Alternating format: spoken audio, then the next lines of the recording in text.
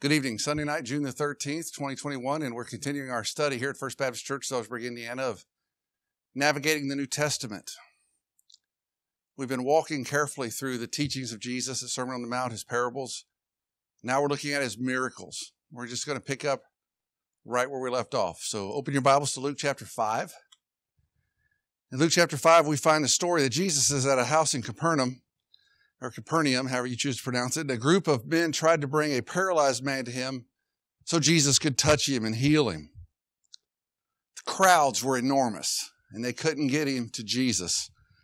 So they had to find a creative way to get their friend to Jesus and Jesus miraculously heals the man. So Luke 5, beginning at verse 18, follow along your copy of the scripture if you would. And behold, men brought in a brought in a bed a man which was taken with a palsy and they sought means to bring him in and to lay him before him, being Jesus. And when they could not find a way that they might bring him in because of the multitude, they went unto the housetop and they let him down through the tiling with his couch into the midst before Jesus. Now you see this, this is impressive. They they figure out how to carry this man, the four of them, they got him on some kind of stretcher type of thing, a cot maybe, pole on either side and some fabric in the middle probably, or or maybe something with uh, cloth that's wrapped and tied together to they could carry it with two sticks.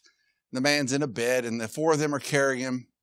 They go up on the housetop and they start to remove the ceiling and the tiling there and they they they get some kind of leverage or ropes in a way that they can hoist the man down in front of Jesus. And when he saw their faith, now that's a powerful expression. When Jesus saw the work the effort, the energy, the faith that the men had, all five of them, especially the four who worked to get their friend to Jesus, what does he say? He said, Man, thy sins are forgiven thee. Well, the scribes and the Pharisees, picking up at verse 21, they begin to reason amongst themselves, saying, Who can speak these blasphemies? Who can forgive sin but God alone? But Jesus, perceiving their thoughts, answered them and said, why reason ye in your hearts? Whether it's easier to say, Thy sins are forgiven thee, or to say, Rise up and walk. But that ye may know that the Son of Man hath power on earth to forgive sins. He said unto the sick of the palsy, I say unto thee, Arise, take up thy bed, and go unto thine house. And immediately he arose before them, took up that which he was laying upon, and departed to his own house, glorifying God. And they were all amazed.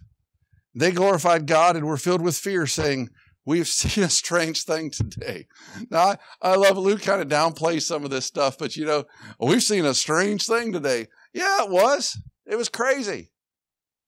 These friends loved their brother so much. They loved this friend so much that they would damage the house, lower their friend down to Jesus. Jesus, marveling at the faith of all involved, the four of them, and we assume the one on the cot, looks at the man on the cot and says, your sins are forgiven. And people start freaking out. Oh, you're blaspheming God. Who can forgive sins? Jesus said, Well, what's easier? To say your sins are forgiven or to say rise and walk? He turns to the man and says, Rise and walk.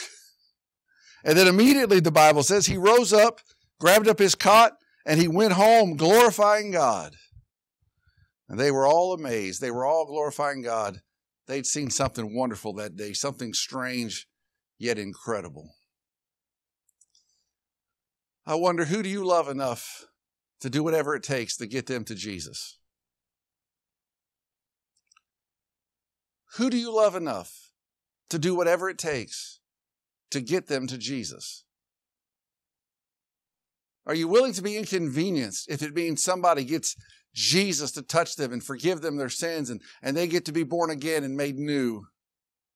Are you willing to be inconvenienced that the gospel might penetrate the heart of that lost friend or neighbor or loved one? Are you willing to work to get them to Jesus? The man had no hope. They get to the house where Jesus is, the crowd's overwhelming. And I imagine they were all disappointed. They'd heard Jesus was the miracle worker, and all of a sudden they can't do anything about it. And then they have this idea we'll lower him down through the roof. Now, the Bible says that the man took up his bed and left there and glorified the Lord going to his own house. I think it's probably a good lesson to think about, but who fixed the roof? You know, I think it's important that, that we see this whole story, and, and I know the Bible doesn't tell us the rest of this, but uh, can you imagine how excited they were that that man was healed? That was strange, wasn't it? But I could just see the owner of the house going, What about my roof? Now, I don't know how hard it is to replace tiling in a house in the first century, but I expect it wasn't challenging.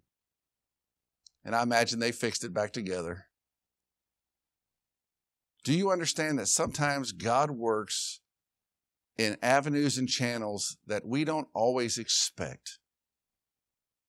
Now, He always works in agreement with His Word.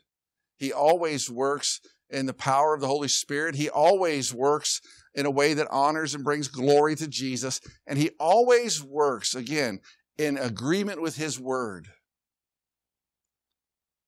But it's usually unusual. That last verse, verse 26, we have seen strange things today. Can I encourage you? Can I offer some instruction today? Let's do some strange things for God. Bring people to Jesus.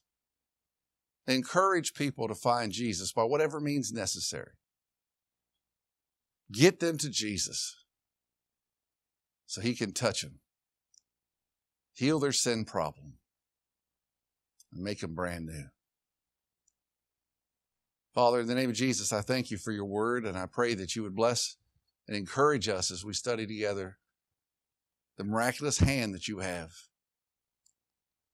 Lord, remind us of the miracle of our own salvation and help us to be a part of bringing others to Jesus.